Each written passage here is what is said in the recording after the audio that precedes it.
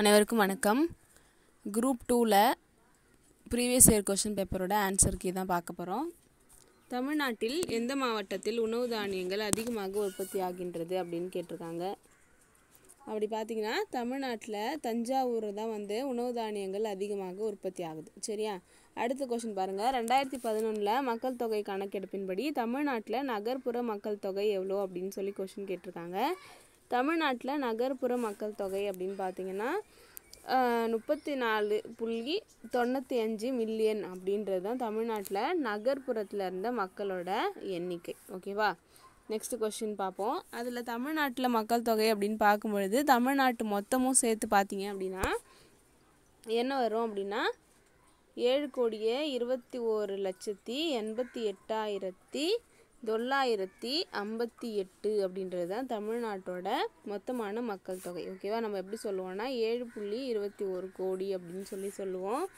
இதில் தமிழ்நாட்டில் பார்த்தீங்க அப்படின்னா தொள்ளாயிரத்தி தொண்ணூத்தஞ்சு பெண்களுக்கு பெண்கள் இருக்காங்க. எத்தனைக்கு அப்படின்னா ஆயிரம் ஆண்களுக்கு. ஓகேவா அதுக்கப்புறம் என்ன பார்க்கணும் அப்படின்னா நீலகிரி தான் இருக்கிறதுலே அதிகமான மக்கள் தொகை உள்ளதாக இருக்குது சரியா? அதுக்கப்புறம் மக்கள் தொகையோட அடர்த்தி அப்படின்னு பார்க்கும்பொழுது ஐநூற்றி ஐம்பத்தஞ்சு பேர் பர் ஒரு சதுர கிலோமீட்டர் அப்படின்னு சொல்லிட்டு சொல்கிறாங்க இது எல்லாமே வந்து இப்போ எக்ஸாம்ஸில் கேட்குற கொஷின்ஸ் தான். சரி அதையும் பார்த்துக்கோங்க. அடுத்த கொஷின் பாருங்கள் மெட்ரோ ரயில் சேவை எங்கே இருக்குது அப்படின்னு கேட்டிங்கன்னா சென்னையில் மட்டும்தான் இது வரைக்கும் மெட்ரோ ரயில் வந்து தொடங்கியிருக்காங்க. ஓகேவா மெட்ரோ ரயில் ஃபஸ்ட்டு ஃபஸ்ட்டு எப்போ கொண்டு வந்தாங்க அப்படின்னு பார்த்தீங்கன்னா இருபத்தி ஒன்பது ஜூன் ரெண்டாயிரத்தி பதினஞ்சில் கொண்டு வந்திருப்பாங்க மெட்ரோ ரயில் ஸ்கீம் அதுக்கப்புறம் வந்து இதில் மெட்ரோ ரயில் பார்த்தீங்க அப்படின்னா சென்னையில் சென்னையோட மெட்ரோ வந்து ஃபோர்த்து பிளேஸில் இருக்குது ஓகேவா ஃபஸ்ட் பிளேஸில் என்ன இருக்குது அப்படின்னா டெல்லி இருக்குது செகண்ட் பிளேஸில் பெங்களூர் இருக்குது தேர்ட் பிளேஸில் கொல்கத்தா இருக்குது ஃபோர்த்து பிளேஸில் நம்ம சென்னை இருக்குது ஓகேவா இருக்கிறதுலே பெரிய மெட்ரோன்னு கேட்டாங்கன்னா டெல்லி. செகண்ட் வந்து என்னது அப்படின்னா பெங்களூர். தேர்ட் வந்து கொல்கத்தா. ஃபோர்த்து பிளேஸில் சென்னை இருக்குது ஓகேவா அடுத்த கொஸ்டின் பார்க்கலாம்.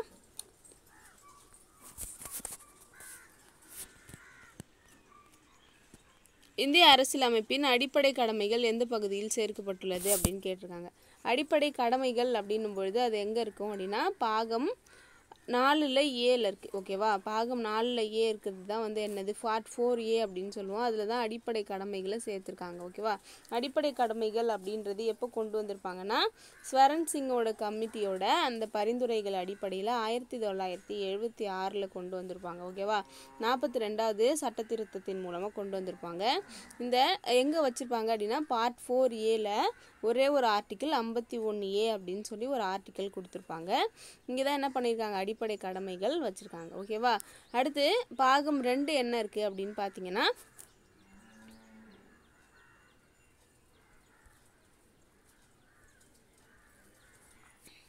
ஃபஸ்ட்டு பார்ட் என்ன இருக்கும் அப்படின்னு பார்த்தீங்கன்னா யூனியன் அண்ட் டெரிட்டரி அப்படின்னு சொல்லுவாங்க. அதாவது இந்தியாவோட அந்த அமைப்பு அதுக்கப்புறம் அதோட பெயர் அப்படின்னு சொல்லிட்டு ரெண்டாவது பார்ட் என்ன அப்படின்னு பார்த்தீங்கன்னா குடியுரிமை சிட்டிசன்ஷிப் அப்படின்னு சொல்லிட்டு மூணாவது பார்ட் வந்து அடிப்படை உரிமைகள் அப்படின்ற ஃபண்டமெண்டல் ரைட்ஸ் இருக்கும். நாலில் என்ன இருக்கும் அப்படின்னா directive principles of state policy இருக்கும். நாலு ஏ தான் என்னது அப்படின்னா ஃபண்டமெண்டல் டியூட்டி பாகம் அஞ்சு வந்து மத்திய அரசு ஆறு வந்து என்னது அப்படின்னா மாநில அரசு. ஓகேவா நெக்ஸ்ட் கொஸ்டின் பார்க்கலாம்.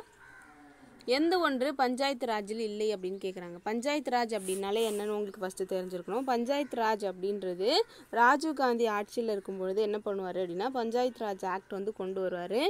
ஆர்டிக்கிள் சாரி எழுபத்தி மூணு மற்றும் எழுபத்தி நாலாவது சட்ட திருத்தத்தின்படி தான் பஞ்சாயத்து ராஜ் வந்து கொண்டு வருவாங்க. ஓகேவா பஞ்சாயத்து ராஜ் அப்படின்றது என்னென்னா ஒன்றும் இல்லை ஒரு ஒரு பிளேஸை வந்து ஊரகம் நகர்ப்புறம் அப்படின்னு ரெண்டாக பிரிச்சிருப்பாங்க. ஓகேவா அதில் ஊரகம் அப்படின்ற இடத்துல என்னெல்லாம் இருக்கும்னா மாவட்ட ஊராட்சி மாவட்ட அளவில் இருக்கும். ஊராட்சி ஒன்றியம் ஒன்றிய அளவில் இருக்கும். கிராம ஊராட்சி அப்படின்றது கிராம அளவில் இருக்கும். இந்த பக்கம் நகர்ப்புறத்தில் பார்த்தீங்க அப்படின்னா என்ன இருக்கும்னா ஃபஸ்ட்டு வந்து நகராட்சி சாரி ஃபஸ்ட்டு பேரூராட்சி அதுக்கப்புறம் நகராட்சி அதுக்கப்புறம் மாநகராட்சி அப்படின்னு சொல்லி பிரிச்சிருப்பாங்க. இந்த உள்ளாட்சி அமைப்புகள் இது அப்படின்னு சொல்லி இந்த ஆறு அமைப்பையும் சேர்த்து தான் நம்ம சொல்கிறோம் உள்ளாட்சி அமைப்புகள் அப்படின்னு சொல்லிட்டு. இவங்களுக்குன்னு சொல்லிட்டு தனியாக என்ன பண்ணுவாங்க? தனியாக அவங்களுக்குன்னு எலெக்ஷன் அவங்களோட தேவைகளை அவங்களே பூர்த்தி செஞ்சுக்கிற மாதிரி நிறைய சட்டங்கள் எல்லாம் சொல்லுவாங்க அதுதான் பஞ்சாயத்து ராஜ் அப்படின்னு சொல்லுவோம். ஓகேவா இங்கே கொஷின் என்ன கேட்டிருக்காங்க அப்படின்னா பஞ்சாயத்து ராஜில் எது இல்லை அப்படின்னு கேட்டிருக்காங்க. டவுன்ஷிப் வந்து பஞ்சாயத்து ராஜில் இருக்காது. ஓகேவா டவுன்ஷிப் அப்படின்றது நம்மளுக்கு எதில் வரும் அப்படின்னா கவர்மெண்ட்டோட டைரக்ட் கண்ட்ரோலில் இருக்கும். டவுன்ஷிப் ஓகேவா அடுத்து பாருங்கள் இந்திய அரசியலமைப்பு நிர்ணய சபை முன்மொழிவின் அடிப்படையில் ஏற்படுத்தப்பட்டது. யாருடைய முன்மொழிவு அப்படின்னு பார்த்தீங்கன்னா கேபினெட் மிஷன் அப்படின்னு சொல்லுவோம் ஓகேவா இந்திய அரசியலமைப்பு நிர்ணய சபை அப்படின்னு சொல்லிட்டு கொண்டு வர்றதுக்கு ஃபஸ்ட்டு ஃபஸ்ட்டு யாரை தான் வந்து சொல்லுவாங்க அப்படின்னா கேபினெட் மிஷன் தான் சொல்லுவாங்க. அவங்க எப்போ வருவாங்க அப்படின்னு பார்த்தீங்கன்னா ஆயிரத்தி தொள்ளாயிரத்தி நாற்பத்தி ஆறில் வருவாங்க பிப்ரவரி மாதத்தில் வருவாங்க.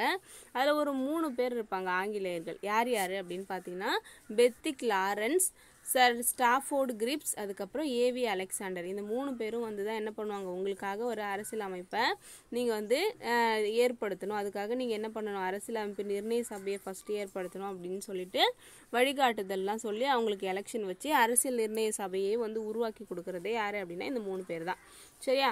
நெக்ஸ்ட் பாருங்க. கீழ்கண்ட பாராளுமன்ற குழுக்களில் எந்த குழு பாதி நீதி பரிபாலன தன்மையுடையது? அதாவது செமி ஜுடிக்கல் இன் நேச்சர் அப்படின்னு கேட்குறாங்க அதில் சிறப்புரிமை குழு அப்படின்றது தான் வந்து பாதி வந்து நீ நீதி பரிபாலன தன்மை கொண்டது. ஓகேவா நெக்ஸ்ட் பாருங்கள் ஆயிரத்தி எட்நூற்றி ஐம்பத்தி ஏழாம் ஆண்டு கழகத்தின் போது கீழ்கண்ட நபர்களில் பீகார் புரட்சியின் ஒருங்கிணைப்பாளராக இருந்தவர் யார் அப்படின்னு கேட்குறாங்க இதுக்கு ஆன்சர் வந்து கன்வர்சிங் கன்வர்சிங் தான் என்ன பண்ணுவார் அப்படின்னா ராணி லட்சுமிபாய் வந்து இறந்ததுக்கப்புறம் என்ன பண்ணுவார்? ஜான்சி ராணி லட்சுமிபாய் இறந்ததுக்கப்புறம் கன்வர் சிங் பீகாரில் வந்து புரட்சி பண்ணுவார். அதுக்கப்புறம் அவரையும் என்ன பண்ணுறாங்க அப்படின்னா ஜெயிலில் போட்டுருவாங்க. அதுக்கப்புறம் அவங்களோட தம்பி அமர் சிங் வந்து என்ன பண்ணுவார் அப்படின்னா போட்டி புரட்சியே பண்ணிட்டு அதில் பீர் அலி அப்படின்ற இன்னொருத்தர் இருப்பார். அவர் என்ன பண்ணுவாங்க அப்படின்னா புரட்சி பண்ணதுக்காக தூக்கில் தூக்கி போட்டுருவாங்க. ஓகேவா? அப்போது புரட்சியை ஃபஸ்ட்டு ஆரம்பித்தது பீகாரில் யார் அப்படின்னா கன்வர் சிங் தான். ஓகேவா? அடுத்து பாருங்கள் எந்த சட்டம் இந்தியாவிற்கு மாநில சுயாட்சி அதிகாரத்தை வழங்கியது அப்படின்னு கேட்குறாங்க ஓகேவா எந்த சட்டம் பார்த்தீங்க அப்படின்னா இந்திய அரசாங்க சட்டம் ஆயிரத்தி தொள்ளாயிரத்தி முப்பத்தஞ்சு. இதுதான் வந்து மாநிலத்தில் சுயாட்சி நடக்கணும் அப்படின்னு சொல்லிட்டு. இந்த சட்டம் வந்ததுக்கப்புறமா தான் என்ன பண்ணுவாங்க? ஆயிரத்தி தொள்ளாயிரத்தி முப்பத்தி ஏழில் எலெக்ஷனில் காங்கிரஸ் ஜெயிச்சு ஃபஸ்ட்டு ஃபஸ்ட்டு ராஜாஜி என்ன பண்ணுவார்? ஆட்சிக்கு வருவார். காங்கிரஸ் ஃபஸ்ட்டு ஃபஸ்ட்டு எலெக்ஷனில் ஜெயிக்கிறது இந்த ஆயிரத்தி தொள்ளாயிரத்தி முப்பத்தி ஏழில் தான். சரியா? ரவுலட் சட்டம் அப்படின்னா என்ன அப்படின்னா ரவுலட் சட்டம் அப்படின்றது ஒரு குற்றம் சாட்டப்பட்டவங்களை அதாவது ஒருத்தவங்களை ஒரு ஆங்கிலேயர் வந்து ஒரு இந்தியரை பார்த்து நீ தப்பு பண்ணியிருக்க அப்படின்னு அவர் சந்தேகப்பட்டார் அப்படின்னு வச்சுக்கோங்களேன். அவரை தூக்கி என்ன பண்ணலாம் அப்படின்னா குற்றம் சாட்டினப்பட்ட நபரை குற்றம் சாட்டப்பட்ட நபரை ரெண்டு வருஷம் என்ன பண்ணலாம் அப்படின்னா அவர் ஜெயிலில் போடலாம். ஜாமீனும் கொடுக்காம மேல்முறையீடும் பண்ண முடியாது அவரால். ஓகேவா அந்த மாதிரி ஒரு சட்டம் தான் என்னது அப்படின்னா ரவுலட் சட்டம் கருப்பு சட்டம் அப்படின்னு சொல்லி இந்த சட்டத்தை சொல்லுவாங்க. இந்த சட்டத்தை எதிர்த்து தான் என்ன பண்ணியிருப்பாரு அப்படின்னா ரவீந்திரநாத் தாகூர் தன்னோட நைட்வுட் அப்படின்ற பட்டத்தை திறந்துருப்பார். ஓகேவா வேண்டான்னு சொல்லி கொடுத்துருப்பார் திருப்பி. அடுத்து மிண்டோ மார்லி சட்டம். மிண்டோ மார்லி சட்டம் அப்படின்றது சட்டமன்றத்தில் இந்திய உறுப்பினர்களோட எண்ணிக்கையை அதிகமாக்கணும் அப்படின்னு சொல்லிட்டோம் முஸ்லீம்களுக்கு இருபத்தஞ்சி சதவீதம் என்ன பண்ணணும்? இடஒதுக்கீடு கொடுக்கணும். அவங்களுக்கு தனியாக வந்து அவங்களுக்கு தனி தொகுதியெலாம் வழங்கணும் அப்படின்னு சொல்லி கொண்டு வந்திருப்பாங்க. ஓகேவா அதுக்கப்புறம் மாண்டேகி ஷெம்ஸ்போர்ட் சட்டம் ஆயிரத்தி தொள்ளாயிரத்தி பத்தொம்போது. இதில் என்ன ஆகும் அப்படின்னா ஈரடுக்கு சட்டமன்ற முறை கொண்டு வந்திருப்பாங்க. அதாவது மேலே வந்து ம ம அதிகாரம் அமைக்க பதவிகள் கீழே வந்து அதிகாரம் குறைஞ்ச பதவிகள் அப்படின்னு சொல்லிட்டு இந்த ப எல இந்த ஒரு சட்டத்தின் மூலயமா தான் ஆயிரத்தி தொள்ளாயிரத்தி இருபதில் என்ன பண்ணுறாங்க அப்படின்னா எலெக்ஷன் வைப்பாங்க. அந்த எலெக்ஷனில் தான் ஃபஸ்ட்டு ஃபஸ்ட்டு என்ன பண்ணுவாங்க? நீதி கட்சி வின் பண்ணி ஆட்சியை அமைப்பாங்க. ஓகேவா நெக்ஸ்ட்டு கொஷின்ஸ்லாம் வந்து இன்னொரு நல்ல வீடியோவில் பார்க்கலாம். தேங்க்யூ